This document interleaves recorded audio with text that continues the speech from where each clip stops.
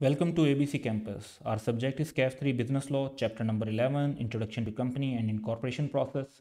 And second video on the topic Company and Body Corporate, we would be discussing definitions and then explaining the definition from ICAP Study Text 2020. And I am your facilitator, Kashif Adi. तो second section जो है इसमें definition है और types of company हैं हम इसके अंदर इस वीडियो के अंदर जस्ट डेफिनेशंस को कवर करेंगे फिर मज़ीद टाइप्स को जो है नेक्स्ट वीडियो में और फिर होल्डिंग और सब्सिडी का डिफरेंस जो है उससे नेक्स्ट वीडियो के अंदर कवर कर रहे होंगे। सो so, कंपनी की डेफिनेशन क्या है? ये जो सेक्शन नंबर लॉ में गिवन होते हैं ये आपको याद करने की ज़रूरत नहीं है लेकिन ये रेफरेंस इसलिए दिए जाते हैं बुक्स में ताकि अगर किसी जगह पर चेक करना हो या डाउट हो तो उसको आप वेरीफाई कर सकें चेक कर सकें तो क्रेडिबिलिटी ऐड हो जाती है प्रॉपर रेफरेंस देने से। Company company means a company form and registered under the companies act 2017 यानी अगर आप अपने बिज़नेस का नाम रख देते हैं let's say X Y Z and company तो वो कंपनी नहीं बन जाएगा। उसके लिए ज़रूरी है कि वो फॉर्म किया जाए और रजिस्टर किया जाए अंडर कंपनीज़ एक्ट 2017 और द कंपनी लॉ अब कंपनी लॉ से क्या मुराद है? कंपनी लॉ के अंदर ये वाला कंपनीज़ एक्ट 2017 भी मौजूद है, इससे प्रीवियस लॉज भी मौजूद हैं। तो अगर आप प्रॉपरली अपनी कंपनी को बनाते हैं और रजिस्टर्ड करवाते हैं अंडर द लॉ जो कंपनीज़ का रेलिवेंट लॉ है, चाहे वो कंपनीज़ एक्ट 2017 हो, या इससे पहले जो लॉज थे, उनके अंडर कोई कंपनी रजिस्टर्ड हो चुकी है, वो हो तो वो एक कंपनी समझी जाएगी। So company law means the repealed repealed होता है जो पुराने लॉज हैं, जो अब खत्म हो चुके हैं। Companies act 1913 companies ordinance 1984 companies ordinance 2016 ये बड़े ब्रीफ टाइम के लिए ऑर्डिनेंस बना था और फिर ख़त्म हो गया था। And also includes companies act 2017 ये हमारा लेटेस्ट लॉ है जिसे हम अब पढ़ रहे हैं। Unless the context provide otherwise तो कॉन्टेक्स्ट अदरवाइज़ हो तो फिर अलग बात है, वरना कंपनी लॉ का मतलब ये सारे एक्ट हैं जो अब कंपनीज़ एक्ट 2017 है या जो प्रीवियस एक्ट थे। तो लव्स कंपनी अपने बिज़नेस के नाम में लिख लेने से वो कंपनी नहीं बनती। It must be formed and registered under the company law अब चाहे वो लेटेस्ट कंपनी लॉ हो या जो पहले से कंपनी रजिस्टर्ड प्रीवियस लॉज में हो चुकी हैं, वो भी वैलिड होगा। दूसरी डेफिनेशन है बॉडी कॉरपोरेट अच्छा अब बॉडी कॉरपोरेट का वैसे अगर मैं मतलब बताऊँ, अब लॉ में ना बाज़ात कुछ डेफिनेशन जो हैं, वो लिटरल मीनिंग पर नहीं होती। वो इंक्लूसिव या एक्सक्लूसिव डेफिनेशन होती हैं, जैसे ये है, जो ये बताती है कि इसमें क्या क्या शामिल होगा और क्या क्या शामिल नहीं होगा। ये इट सेल्फ बॉडी कॉरपोरेट को एक्सप्लेन नहीं कर रही डेफिनेशन सो बॉडी कॉरपोरेट का लफ्जी मतलब है artificial legal person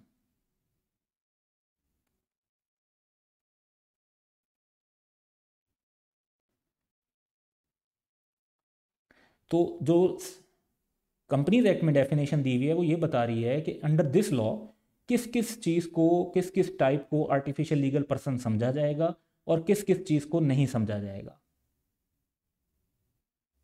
So definition is about include क्या होता है और इंक्लूड क्या नहीं होता।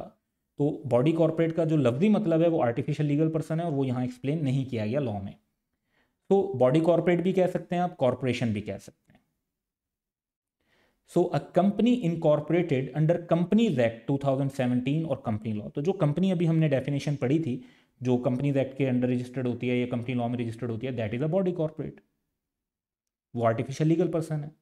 A company incorporated outside Pakistan अब कोई कंपनी पाकिस्तान से बाहर रजिस्टर्ड होती है और वो फिर पाकिस्तान में बिज़नेस कर रही है तो वो हमारे हिसाब से तो कंपनी की डेफिनेशन में नहीं आती। लेकिन वो बॉडी कॉरपोरेट की डेफिनेशन में फिर भी आती है, यानी लॉ उसे आर्टिफिशियल लीगल पर्सन तो समझेगा, पाकिस्तान में उसे कंपनी नहीं समझा जाएगा, लेकिन उसे आर्टिफिशियल लीगल पर्सन समझा जाएगा। तीसरा a body corporate declared as body corporate in the relevant statute यानी उस लॉ रेलिवेंट लॉ में उसको बॉडी कॉरपोरेट बताया गया हो।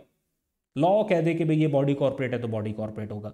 अब इसकी एग्जांपल अगर मैं आपको दूँ तो स्टेट बैंक ऑफ़ पाकिस्तान है एक लॉ था, state bank of Pakistan act 1956 उसके अंदर कॉन्स्टिट्यूट हुआ। हमारा ये जो इंस्टीट्यूट है आई कैप तो चार्ड अकाउंटेंट ऑर्डिनेंस 1961 में बॉडी कॉरपोरेट इस्टेब्लिश किया गया आई कैप को, या जो कंपनीज़ को रेगुलेट करने की अथॉरिटी है एस सी सी पी तो उसका भी एक एक्ट है S C C P act 1997 उसमें बॉडी कॉरपोरेट बनाया गया commission S C C P को। तो जो, जिसे लॉ कह दे कि ये बॉडी कॉरपोरेट होगा, वो भी बॉडी कॉरपोरेट है।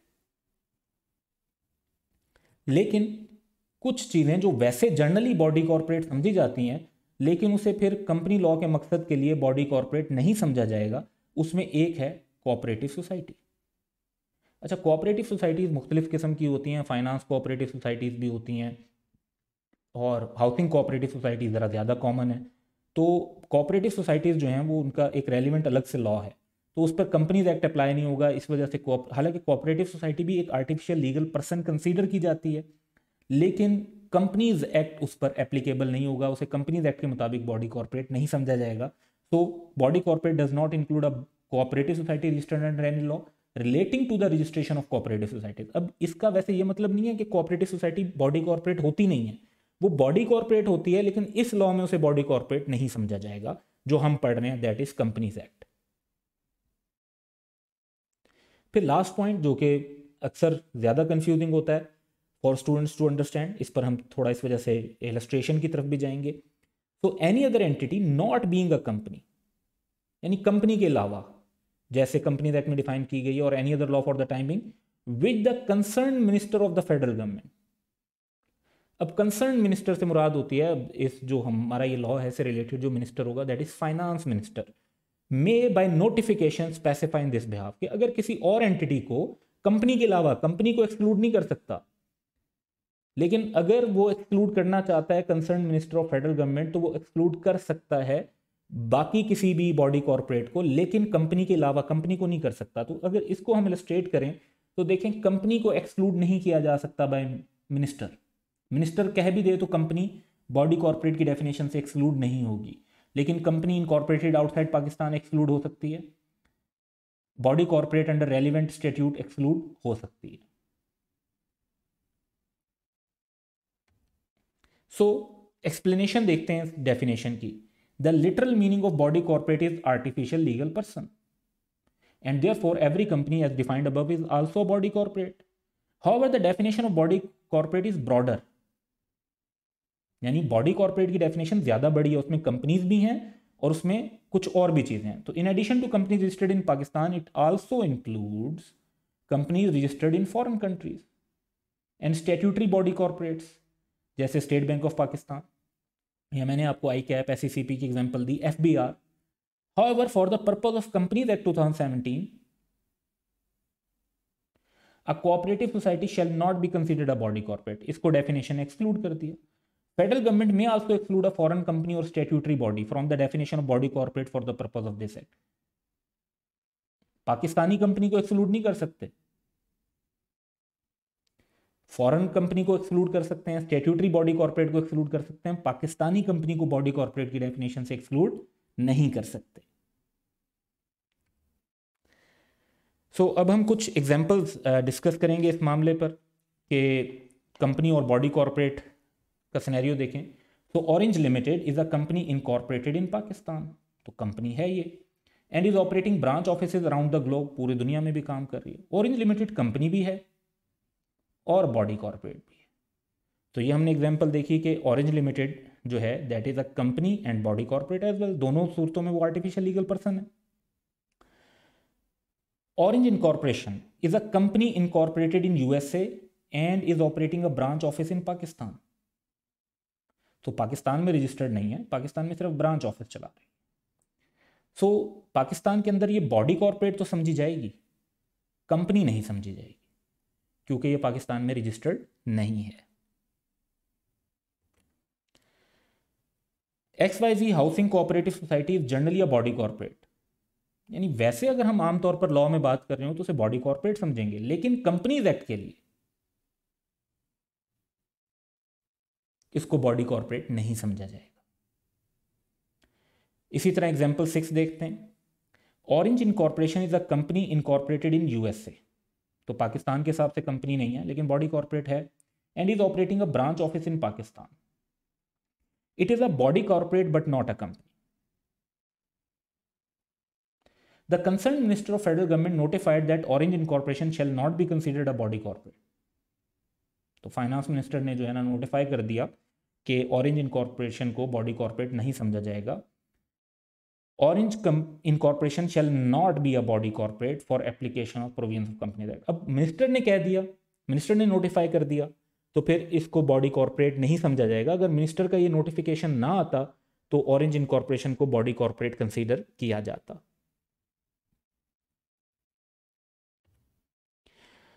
So in the end there is a past exam four marks के लिए सिंपली ये पूछा गया है कि under the provision of companies act explain the term body corporate और कॉरपोरेशन। तो सिंपली आपने उस टर्म को एक ब्रीफली मेरे ख्याल में इसमें एडिशनली आपको ये बता देना चाहिए कि आर्टिफिशियल लीगल पर्सन की बात हो रही है।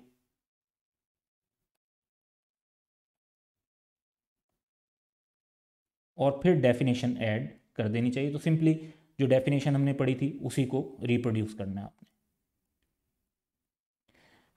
तो कंपनीज़ एक्ट में अक्सर एक क्वेश्चन ये भी स्टूडेंट्स पूछते हैं कि जी क्या हमें बिल्कुल इसको रट्टा लगा लेना चाहिए मेमोराइज़ कर लेना चाहिए वर्ड टू वर्ड या हमें इसको जो है वो अपने लफ्ज़ों में लिखना चाहिए? तो एक बात तो जहन में रखें कि जो लीगल डेफिनेशंस हैं, उनको तो एज़ इट इज़ याद रखें, क्योंकि जो डिफ़ाइन जिस तरीके से किया गया है, वही डेफिनेशन है, ना उससे कम है, ना उससे ज़्यादा है। तो डेफिनेशन की हद तक तो मेमोराइज करना इंपॉर्टेंट है। अच्छा उसके बाद जो बाकी लॉ का एक एलिमेंट है तो उसमें आप बिल्कुल अपने लफ्ज़ लिख सकते हैं लेकिन एक बात का ख्याल रखें। वो ख्याल आप लोगों ने ये रखना है कि आपने अपनी वर्डिंग लिखनी है लेकिन उसके अंदर बहुत ज़्यादा इनोवेटिव नहीं होना। आप कोशिश करें कि जो लीगल टर्म्स यूज़ हुई हैं वही की वही यूज़ कर रहे हो आप। जिस तरह से आ, हमारी जनरल लाइफ के अंदर एग्रीमेंट और कॉन्ट्रैक्ट का मतलब सेम है। लेकिन जब हम कॉन्ट्रैक्ट एक्ट पढ़ते हैं तो कॉन्ट्रैक्ट और एग्रीमेंट दो डिफरेंट कॉन्सेप्ट हैं। तो हमें फिर वो केयरफुली टर्म यूज़ करनी पड़ती है कि कहाँ पे टर्म एग्रीमेंट यूज़ करनी चाहिए, कहाँ पे टर्म कॉन्ट्रैक्ट यूज़ करनी चाहिए। तो इसी तरह हम word company business corporation use कर लेते हैं जब रूटीन लाइफ में बात कर रहे होते हैं। लेकिन अगर आप कंपनी एक्ट के बारे में स्पेसिफिकली बात कर रहे हैं तो कंपनी और बॉडी कॉरपोरेट का डिफरेंस बड़ा इंपॉर्टेंट है। तो वर्ड्स अपने यूज़ करें सेंटेंस स्ट्रक्चर अपना यूज़ करें सिंपल वर्डिंग यूज़ करना चाहते हैं, बिल्कुल करें। लेकिन इतने इनोवेटिव ना हो कि बात का मतलब ही बदल जाए। सो फार एज कि आपका सेंटेंस स्ट्रक्चर डिफरेंट भी है, लेकिन जो बात लॉ की है, वही हो रही है, जो लीगल टर्म्स हैं, वही यूज़ की गई हैं तो फिर आपके मार्क्स के ऊपर कोई इफ़ेक्ट नहीं पड़ेगा। लेकिन अगर आप इतने इनोवेटिव हो जाते हैं कि बात ही बदल देते हैं, जो मीनिंग था आपकी सेंटेंस का, वो एक डिफरेंट पर्सपेक्टिव को रिप्रेजेंट कर रहा है एक्सप्रेस कर रहा है तो फिर आपको मार्क्स नहीं मिलेंगे। और ये एक मेजर इशू है विद दिस पेपर के इसके अंदर जो ओवर स्मार्टनेस और ये जो चीज़ है कि जी सबसे यूनिक करके लिखें तो उसके अंदर बात जो है वो टोटली चेंज हो जाती है और फिर आपको मार्क्स नहीं मिल पाते। सो so, कोशिश करें कि as much as you can memorise वो दैट फाइन अपनी वर्डिंग यूज़ करें देर इज़ नो इशू लेकिन लीगल टर्मिनोलॉजी और जो मीनिंग uh, है जो अल्टीमेट एक्सप्रेशन uh, है वो चेंज नहीं होना चाहिए। So that's all for today have a good day